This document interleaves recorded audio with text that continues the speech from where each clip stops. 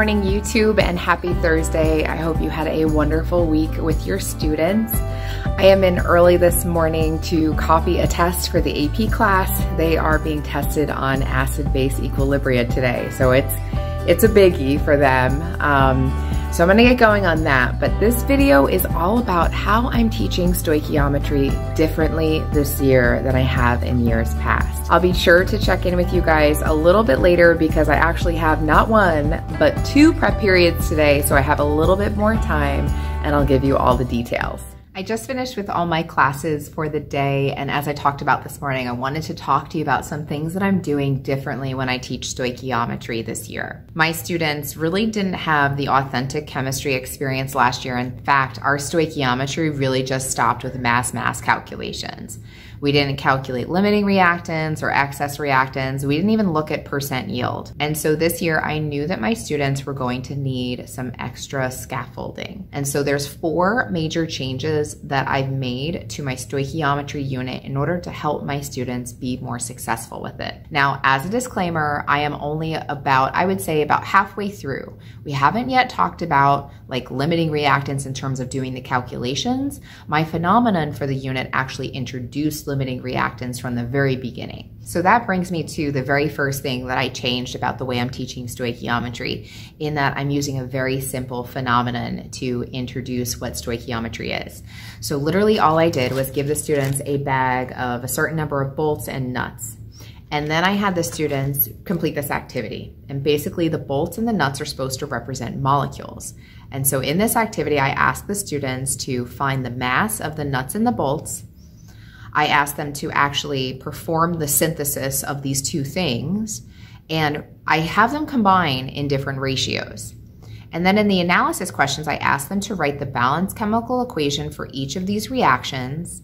And then I introduce this concept of limiting reactant right from the very beginning. As the students continue to answer these questions, they start to discover that really they're not able to tell what is going to be what's limiting based on just the mass alone, not even the number of particles. What they really have to do is use the balanced equation, and obviously this is just a model of an equation for the students to follow. The culminating part of the activity asks the students to use dimensional analysis to calculate exactly how many NBs they can make and how many N2Bs given the amounts of each thing that they have. And so this is where I introduce the concept of limiting reactant and excess reactant.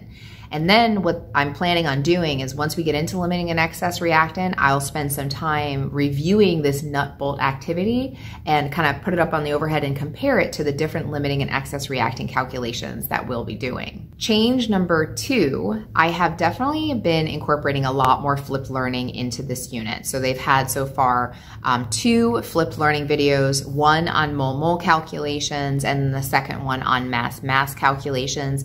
I have found that to be just such a better use of our class time. The students come in, they immediately can start working on problems. I can circulate and help them out. I can even have them work on whiteboards if they want to have like a little mini lesson with me. It really helps to make sure that you are spending the most time with the kids, actually interacting with them and assisting them with any difficulties that they're having with these problems. Before using the flipped classroom approach, a lot of times I would spend time just going over the notes in class and then the students would be able to do like maybe one problem and then they have to take all that home and finish it at home. I'm just finding that the work is getting done more easily when it's getting done in class and their retention is much better as a result. Which brings me to my next thing, and I know I talked about this about two videos ago, but I've been administering quarter sheet quizzes every single time my students have an Edpuzzle. And it's usually just a quick, like one or two question thing, only like very low points, very low stakes assessment.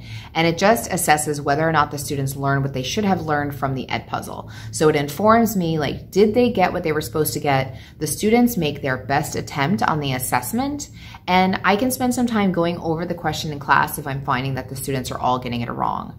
But I'm finding that student accountability has been just really lacking this year and that has really been the only way to make sure that my students are watching the videos to understand. Like they're actually watching it with the intent to understand. It's not one of these things where they're just kind of letting the video play in the background and mindlessly writing down notes. They're actually really trying to understand the information because they know that they're going to be assessed in class the next day And then the fourth final major change I have made to my stoichiometry unit is I am spending far more time with the students whiteboarding.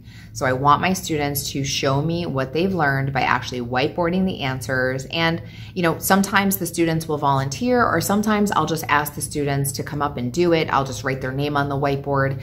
But it's really important for the students to be working and showing you what they're thinking. And I found that I'm able to interject and help them more easily if they're working on whiteboards because like I can see it a lot better as opposed to just like on a worksheet, for example.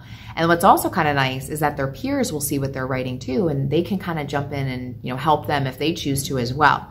Whiteboarding has really helped the students to make their thinking visible, and it's allowed me to assess them very easily. Um, I love the fact that the students are working together to try and learn the information. I've definitely noticed a lot more collaboration in this unit than I have in previous units, as this is often one of the most difficult topics that they're going to learn throughout the school year. And I did absolutely tell them that. You know, I did say to the students, you know, stoichiometry is very, very difficult, incorporates a lot of concepts. So you want to make sure that you're staying on top of it. And what's nice is that they are definitely working through it. And it's not perfect by any stretch of the imagination, but it is working very well for me and for my students. You know, just the act of holding them accountable daily, having some sort of practice in class has made a big difference in the students taking ownership and accountability of what they're doing. So if you've done stoichiometry in the past where you've been lecturing in class, I'm going to suggest that you try to flip it right? Maybe include a video on stoichiometry. There's a ton of videos in Edpuzzle that you can search for. If you want to use my video, please feel free to let me know. I'm happy to share a link with you. I hope this video was helpful in giving you some insight as far as how you could use the flipped classroom to really help your students during your stoichiometry unit. If you have any questions or you'd like an example of my video or you want to share it with your students, please feel free to leave a comment down below, or you can, of course, send me an email and I'd be happy to get back to you. I hope you had a wonderful week with your students, a wonderful weekend, and I'll be sure to check in with you guys next week.